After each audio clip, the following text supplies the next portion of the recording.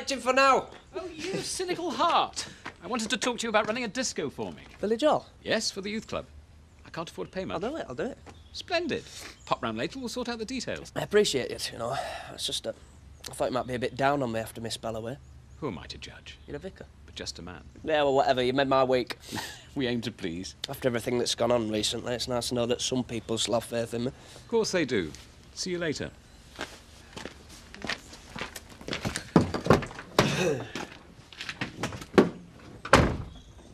GK have got supermarkets all over the place. If we do them a good job running a shopper's bus from the village, who knows what else they might put our way? Bottom line, Sean, I'm not prepared to pull one of our drivers off a well-paid job because of your little minibus. No. What you don't like is it wasn't your idea.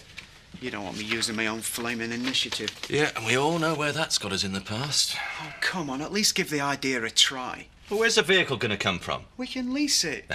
More expense. Look, there are tons of villagers between here and the supermarket who haven't got access to a car. We'll fill the bus every journey, earn our brownie points with GK and plenty of good PR with the village. Well, what do you mean?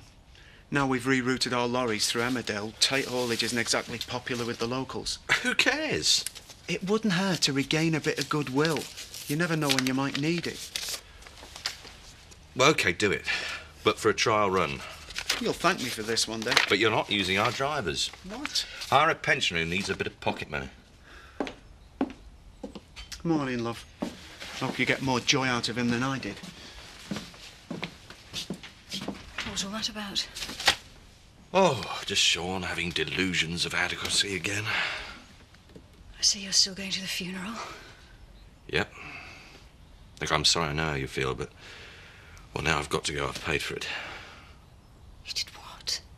You did what? I didn't want him buried in a pauper's grave, so I've asked Ashley to conduct the service.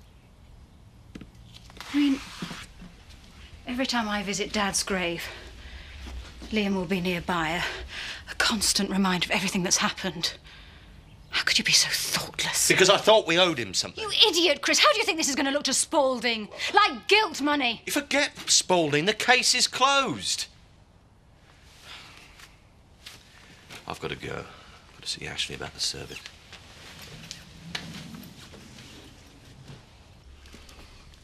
Morning, all. Don't suppose anyone's seen my walking boots? No, you're out for a ramble then. Yes, yes, I thought I'd take a yomp up the crags. Don't suppose I could join you. That would be my pleasure. I, I could show you some of the local beauty spots. I bet you know them all. I don't think you'll make it in high heels, Mother. Well, I'm sure you've got something I could borrow. After all, you're such a sensible girl. Uh, that, that's great. I, I'll find my boots and, and you get ready. Well, I'm, I'm looking forward to this. You'll still be trying to pull on your deathbed, won't you? Listen, girl, I'm a long way off me dotage, and if there's a bit of happiness to be had out there, I'm the last to grab it. Yeah, well, don't muck Alan about. He's a lovely man. You make me sound like a right vamp. Still got me looks the way. Hardly a line on this clock. I think it's true what they say, eh? That eventually you become your own mother. Cheeky madam. I'm very surprised that you're paying for the funeral. It's an astonishing act of forgiveness. I Suppose I felt sorry for him. He didn't have the same chances in life that I had. Perhaps. But this man kidnapped you. He, he he desecrated your father's grave. I got to know him quite well, in a strange kind of a way. He was very confused, very damaged. I sort of believe that he wasn't really responsible for what he did. I wondered, with your permission, if my theme for his address might be that of forgiveness. It would seem rather apt. Sure. Will there be a headstone? Yes. If you need any help composing the inscription, It's okay. I've, I've already ordered it. you couldn't ask for more thoughtfulness. No, it's just very simple. His name, dates, then the line, bone of my bones, flesh of my flesh. Genesis. I didn't realize you were a student of the Bible. Believe me, I am not. I look through a book of quotations for inspiration, for something apt. An unusual choice. Uh, I don't think I've seen it on a headstone before. You must excuse me, Chris. I have other matters to attend to before this afternoon's funeral. I'll see you there.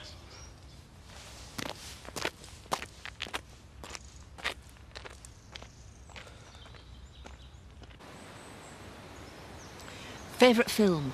Uh, brief encounter. You old romantic. Favourite song? Reach out and I'll be there by the Four Tops. Oh, I've got a good one. Favourite animal? A bear. Just like you. Big, friendly, cuddly bear. I mean, fat and unattractive. Men. Why can't you appreciate what you are, not hope for what you'll never be? I'm sorry, I don't understand. I'm guessing you've never been slim-hipped with chiselled features and a six-pack. Well, then, uh, There you go. You weren't born to be Robert Redford, but you are Alan Turner. And he looks good to me. does he? I, I I mean, do I? Oh, yes. I've really enjoyed our walk, Alan. But I'm flaming freezing. I'm sorry. But, but it has been fun. And thank you. What for? Well, inspiring it. You bring out the playful in me. Down, Rover. Yeah, I'm freezing too. Shall we wander back?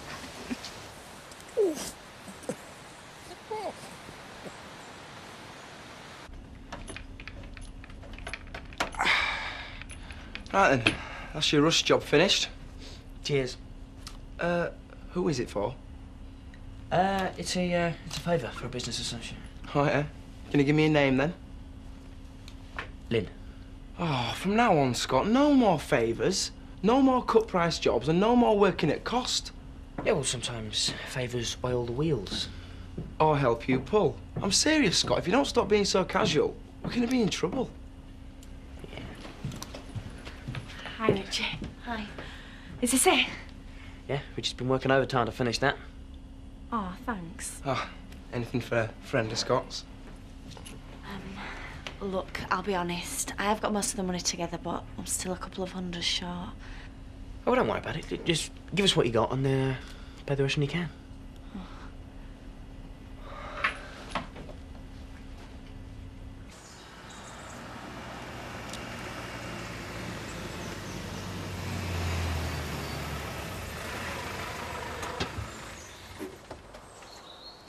Not here in official business, I hope. Afraid we know all about you and the missing communion wine. Oh, it's a fair cop. I'll show you where I hid the empties. Maybe later. I'm actually on official bacon butty business, and that waits for no man. What's this? Our inaugural youth club disco. This'll show them I'm not such an old fuddy. No, I mean, what's this? After everything that's happened, I thought it might do his confidence some good. Roy Glover's just done time for burglary. But that's all in the past. What kind of an example is this to set to young kids? Getting a convicted thief to run the disco. You're either naive or stupid. Roy's not exactly a hardened criminal. I'm sure there must have been extenuating circumstances. I see. And you know better than the magistrates, do you? Well, my kids won't be attending. And I tell you now, there'll be a lot of other parents who feel the same way I do. I think this is a bit of an overreaction. And to think, you had the barefaced cheat to give me lectures about Ollie's behaviour.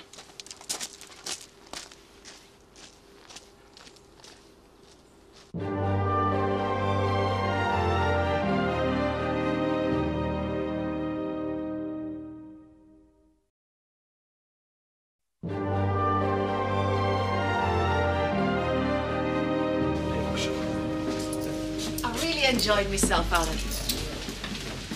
Well, if you'd like to repeat the pleasure, we could go for a really long walk. I don't know about that. The back of my calves are really feeling it. Don't think I'm cut out to be the rambling type. Well, that's a shame. But you could have dinner with me. Oh, yes, yes, my other hobby, food. How about tomorrow night? Yes, I, I should like that very much. I'm gonna have a long hot soak in the bath. See you later, Big Bear. Can I get you a drink, Alan? Well, that, that's very kind. What have I done to deserve this? Funny you should ask. Gin and tonic, please, Gary. You dropped another baby in the font, Ashley. Sorry? Oh, you're looking proper sorry for yourself. I didn't think something through well enough, and now it's causing me a problem. Anything you want to talk about? I haven't even got a coach driver's license. You don't need one. It's just a little minibus. You could handle it no problem. Yeah, well, I may be retired, but I'm still fairly busy. Well, just think what you'd be doing for the local community. I don't follow. It's one of the main reasons I dreamt up this shopping bus. The village is full of old folk and infirm who don't have cars. This would be such a blessing to them. I hadn't thought of it like that. They'd get cheaper food, more variety, and a nice day out to boot. Everyone's a winner. And public transport around here is awful. Yes, it would be serving the community. Well, I know you're very pro local community. I quite fancy the idea of driving a little minibus round the Dale. Well, obviously we can't pay you. well, no, that's okay. As you said, it would be serving the community. Cheers. Cheers. It's not worth getting people's backs up. Why don't you have a little chat with Roy and explain the situation? Hmm. But what message does that send to Roy? He's a, he's a good lad who's made a bad mistake. I must show faith in him. And take the flak for it. Well, I asked Roy to do the disco for all the right reasons. How about you make it more low key? I don't follow. Don't broadcast the fact. Take Roy's names off the posters and advertise it as the Youth Club Disco. It's a thought. But it's so important to me that I back Roy. But you are, by letting him do the disco. As ever, you're very wise. Wow. It's much easier to be wise for other people. Most of us make a complete mess of our own lives. Is anything wrong between you and Gavin? Why would you think that? No, I was just talking generally. Oh, good. You're very lucky to have someone to share things with. I often wish I had someone to talk to about how I feel. You know, you can always talk to me, Ashley. Well, work to do, eh? Absolutely. And thanks again.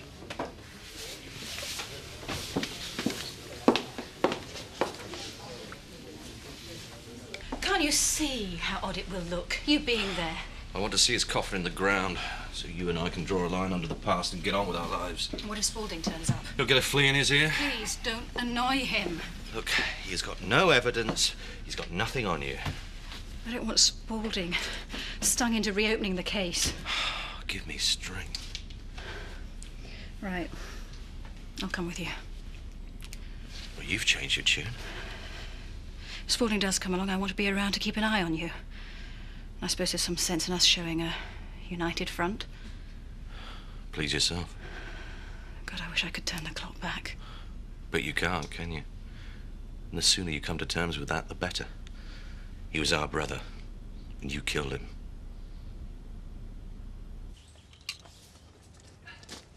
Afternoon, Rev. Thought I'll come and... T- oh, what's going on? Gig's not being cancelled, has it? Certainly not. All goes precisely to plan. So what are you taking posters now for? I, I thought it might be an idea just to keep it, um, low key. Yeah, I don't follow you. One of our parents, uh, well, she's not being very understanding about you. All right, tell me more. I, I really want you to run this disco, but um, I, I- I've got to be diplomatic. So I, I thought if I took your name off the posters. uh, You won't be advertising the fact that you're letting a jailbird loose on your kids, would you? It's not like that, Roy. It flaming is. I thought you had faith in me. I do. Well, have the ball to leave my name on poster if a parent has a problem. Tough. Y- yes, yes, but I, I, I've got to see all sides of the argument. Uh, Fine. All right, then what shall I do? Wear a mask on night so no one can recognise me? I just want what's best for everyone. Oh, stuff your Disco. What? You heard. If you're too ashamed to put my name up posters, then stuff it. Come on, Roy. Thanks for support, Rev. We're early. Still time for Spaulding to turn up then? Oh, for goodness sake, Zoe. Oh, right, right. I still can't believe I'm here. Take you.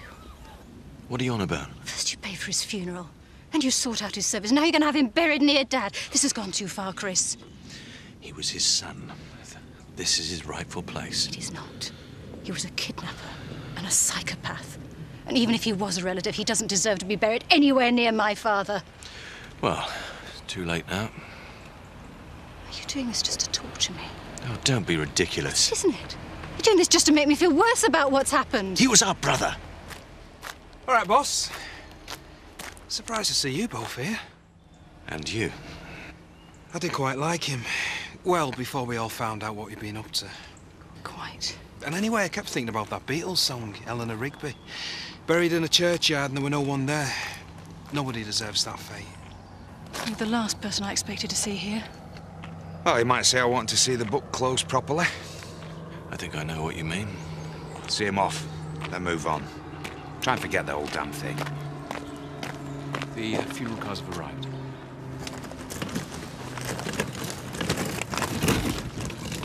You all right, Zoe? Yes, I'm fine.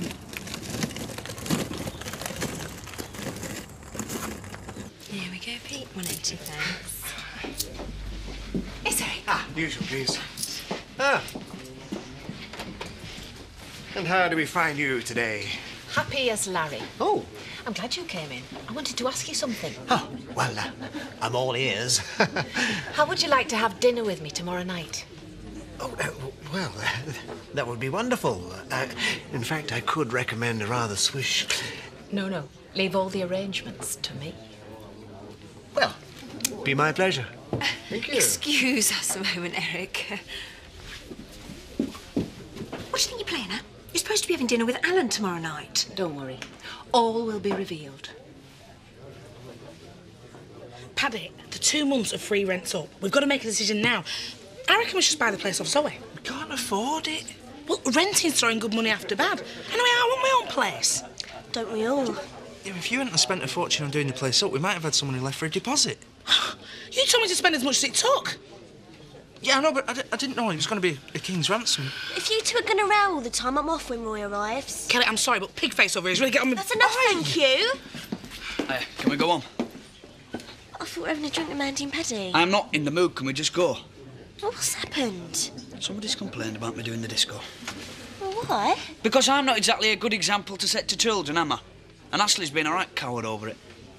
Oh, he's gone back on his word. No, I told him my stuff is disco. I'm not going to be no outcast, Kelly. Oh, Roy. Look, I'll see you back at house. I need a walk to cool down. Oh, I feel awful, man. This is all my fault.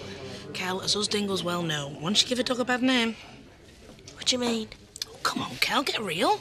I've lost out on loads of opportunities because of my criminal record. That ain't going to happen to Roy. On a bet. We therefore commit his body to the ground, earth to earth, ashes to ashes, dust to dust, in sure and certain hope of the resurrection to eternal life, through our Lord Jesus Christ, who shall change the body of our low estate, that it may be like unto his glorious body, according to the mighty working whereby he is able to subdue all things to himself. The grace of our Lord Jesus Christ and the love of God and the fellowship of the Holy Ghost be with us all evermore. Amen. That it. All finished. Right, well, I'm assuming no one's planned the wake, so, uh, I'm off. Me too. Thanks very much for coming, gentlemen. Whatever a man has done in life, the least we can do is offer him forgiveness in death. Yeah, whatever.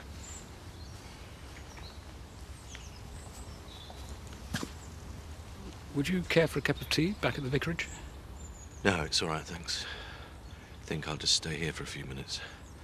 Collect my thoughts. Of course. If ever you want to talk, you know where I am.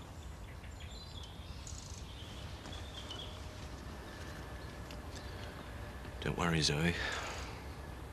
It's over.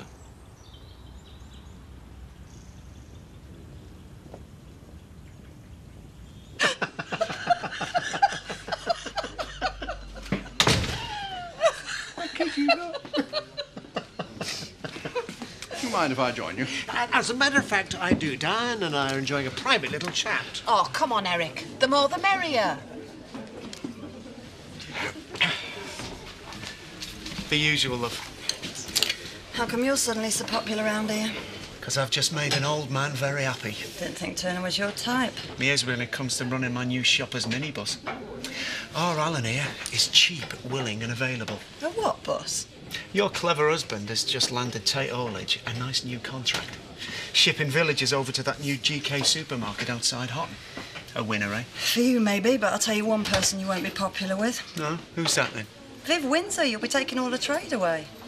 Well, she's a post office, not a supermarket. Mark my words, Mr. Wheeler Dealer. You go ahead with this little bus, and she'll make your name mud round here. Well, whatever. Business is business. Lovely. So, Cheers. Same again, Diane. oh, lovely. Cheers, Alan. Excuse me. Yeah, big. What? What you're doing? Sorry, Eric, I didn't see you there. Come on, Mandy. Uh, a word in your shell, like Mrs. Eric here is the biggest rat in the village, and if I was you, I'd have naught to do with him. There's nothing wrong with Eric. Thank you. Oh, yeah? So why is he pressing assault charges against me? He's out to ruin my life. What's this about, Eric? Uh, a simple misunderstanding. Mandy here has just gone off the deep end, as usual. if you had one decent bone in your body, you'd drop those charges. Don't worry, I'm going to. What? I always intended to. I just wanted to teach you a little lesson first. Why? Because I feel sorry for you. Another conviction on top of your already existing record, and they'll throw away the key. Cheat! me! Ah! Just leave it. We've got a result there. Come on. no need for thanks. Come on. That was very forgiving of you. Yes, well, I'm not one to kick someone when they're down. Please, Chris, I've had enough. Let's go. Yeah. Done your duty.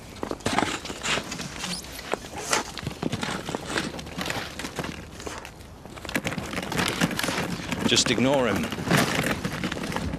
Fancy seeing you two here. And to make sure he's dead. Do you want a smack in the mouth? Oh, go ahead. I'd love a day in court with you. Leave it, Chris. He's not worth it. No, I want a favour. You can go to hell. Off the record. What really happened in that cellar? Exactly what we told you, Inspector. Come on, just between the three of us. Satisfy my copper's curiosity. Who was Liam Hammond? Goodbye, Spaulding. Is he another long-lost cousin? I know all about the skeletons in your family cupboard. Was he another one? Had he been cheated out of something? You really think we're gonna tell you? Ah, so I was right. There is another story. Chris. You'll never know. Well, with your family's track record, I'm sure we'll meet again. Clear off back to your grubby little job, Spaulding. Get off me! I hope what you've done doesn't give you too many sleepless nights.